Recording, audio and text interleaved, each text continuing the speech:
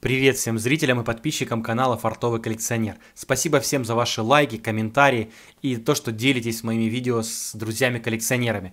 В этом видео мы поразмышляем на тему аукционов и торгов. Какая же стоимость монеты реально? Что такое разгоны монет? Существует ли вообще такой термин? В данном видео я задам вопросы коллекционерам с канала Заметки Нумизмата. Ссылочку на их канал я оставлю в описании. Также вы узнаете мнение, как хранить монеты в альбоме, стоит ли их обрабатывать какими-то средствами для хранения непосредственно в этом альбоме. Если тема интересна, продолжайте смотреть. Фартовый коллекционер монет Украины. Добрый вечер, Дмитрий Юрьевич. Спасибо за такой интересный канал. С удовольствием смотрю. Привет вам из Харькова. Вам большой привет из Харькова. В Харькове раньше очень много раз бывал, с удовольствием общался с харьковчанами. Последние годы, к сожалению, это общение прервано. Надеюсь, восстановится, надеюсь, смогу снова побывать и в Харькове, и в других украинских городах, которые очень люблю. Сейчас ряд монетных блогеров говорят, что накрутки, разгоны лотов. Что думаете по этому поводу? Есть ли вообще такой термин разгона лотов на аукционах? Что думаете об аукционах в интернете? Думаю и скажу. Самое глупое, что может сделать потенциальный покупатель, это смотреть на так называемые аукционные проходы или тем более начинать разговаривать, приводя в пример аукционные проходы. Они не значат вообще ничего. Вы можете лишь оценить уровень стоимости монеты. Ну, скажем, вы видите, что какая-то монета продалась на аукционе за там, 112 тысяч рублей. Это означает, что монета вот этого типа, этого года, этого состояния где-то около 100 тысяч стоит. Может 100, может 200, может 300. Ну, то есть, по крайней мере, речь идет о, о цифре сотни тысяч. А какая-то монета продалась за тысячу рублей. Это не значит, что это ее правильная цена, но значит, что цена на нее э, колеблется в зависимости от состояния других э, причин от сотен до, наверное, первых тысяч. Это все, что можно понять из аукционных торгов. Естественно, ни один дилер не будет монету отдавать дешевле, чем она стоит. Дилер не этим живет, он живет тем, что он зарабатывает. Поэтому монеты, конечно же, будут разгоняться до нужной цены. И будут проданы тогда, когда эта нужная цена достигнется. Если монета не продана в этот раз, она продастся на следующем аукционе, через полгода, через год.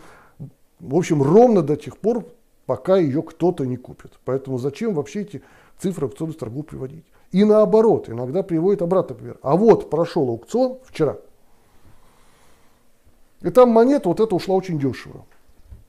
А я вот не купил, продайте мне так же. Или там найдите, или предложите, или посоветуйте. Да это тоже глупость. Это лишь означает, что по какой-то причине на эту монету торги не продолжились. Я всегда говорю так. Правильная цена монеты – это та, за которую вы сами смогли ее купить. Вот вы купили монету за 147 тысяч. Я, например, назвал цифру, там не придирайте, что называю их большими. Вот это есть настоящая цена монеты. А все, что вы видели до этого на торгах, это полная ерунда. И если вы говорите, а вот вчера была такая же, ее не взяли за 50, как только вы начали бы участвовать в торгах, она бы стала 60, 70, 80, 200, 500 тысяч. И если она набрала какую-то небольшую цену, это ничего не значит. Значит, что сегодня она не продалась. Ее продадут через торги и по той цене, по которой нужно. Поэтому подчеркиваю, лишь уровень цен, лишь количество нулей вы можете примерно прикинуть, а, говоря об аукционных торгах. И больше ничего. И э, говорить об этих ценах смысла не имеет. Так же, как о ценах справочников, которые начинают некоторые приводить пример – а, когда я очень много лет назад пытался как раз подкупить еще даже советские просто памятные рубли, или как юбилейные их там называют, и приходил даже а, интересоваться ими на московскую знаменитую нумизматическую толкучку в Таганке, то там, тогда, сейчас, тогда ходили, сейчас ходят различные ценники, даже таганский ценник – я иногда показывал, говорю, ну слушайте, вы мне предлагаете рубль купить за 100 рублей, а вот ценники он стоит 30. Как так? И мне тогда очень правильно отвечали, я это запомнил на всю жизнь, и вам советую запомнить. Ответьте буквально так. Вот найди человека с фамилией Ценник, у него покупай за 30. А у нас 100 сегодня. Потому что что там было написано полгода назад, и какой дурак там указал эту цену, нас совершенно не интересует. У нас цена сегодня, здесь и сейчас. Она вот такая. Поэтому к ценам на всяких аукционных торгах относитесь именно так. Вы лишь определяете количество нулей. Все. Остальное а, конкретный момент времени, конкретные котировки, конкретный курс металла, если мы говорим о золотых монетах, курс рубля, доллара, все это играет значение, плюс состояние. Зависит от состояния, монета может стоить несколько раз дороже, несколько раз дешевле.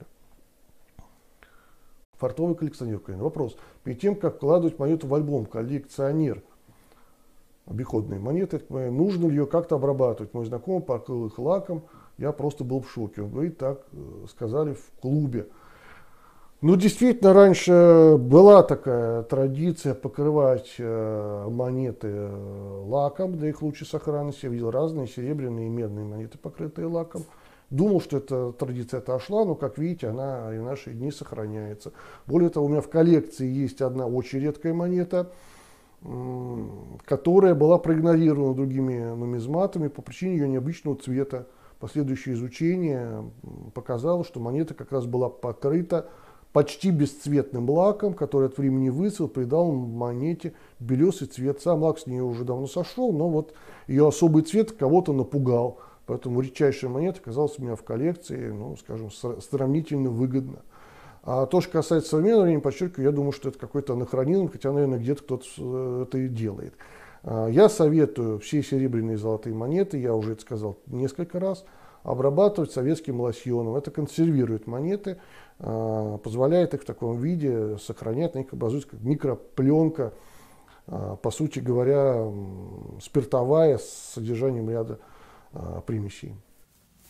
А, так что, друзья, вот такое мнение мы услышали по поводу а, торгов на аукционе, что действительно каждая монета оценивается индивидуально, и цена на нее формируется от желания положить ее в коллекцию.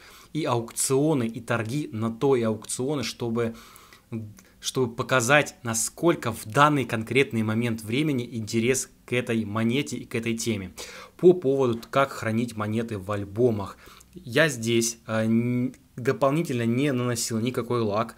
Максимум, что я делал, это обрабатывал монеты обиходные украинским таким вот а, одеколоном, да, там тройной одеколон или как-то так он назывался, чтобы снять какой-то возможный а, налет, но здесь в данном случае монеты были все в очень хорошем состоянии и какого-то налета не было, то есть там несколько монет, которые я не мог найти в нормальном, но так стараюсь э, складывать монеты в штемпельном блеске в коллекцию и Конечно же, я бы не рекомендовал лаком наносить, потому что лаки могут с течением времени отходить, отшелушиваться и тем самым портить монету.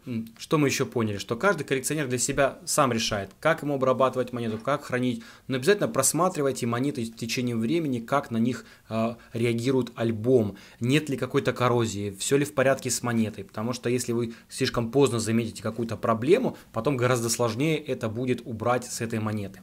Вот, кстати, сейчас на продаже вот такие 10 копеек 2001 года, вот такой вот альбом. Если вам это интересно, напишите мне в Инстаграм. Действительно очень приятная монетка в хорошем состоянии. Э, можно мне написать в Инстаграм, как раз в такой вот замечательный альбом. Она у меня здесь а, в одном экземпляре есть, и одна есть на продажу, либо на обмен. А, если у вас, кстати, есть 2003 год, 2 копейки или 25 копеек, можно как-то поменяться. А, друзья, так что все пишите мне в Инстаграм. И спасибо, что посмотрели это видео. Надеюсь, оно было вам полезно. Ссылочку на канал Заметки нумизмата я оставлю в описании. Вообще, очень люблю каналы, которые вкладываются, стараются делать хороший контент. Я с такими каналами э, дружу, буду их поддерживать информационно. В прошлом видео переходите, там ссылочка на лавку удовольствий. Отличный канал про антиквариат, и там как раз проходит конкурс. А, посмотрите внимательно этот выпуск. Ссылку на этот выпуск также я оставлю в описании, либо в первом комментарии. И спасибо всем, друзья, за просмотр. Всем пока!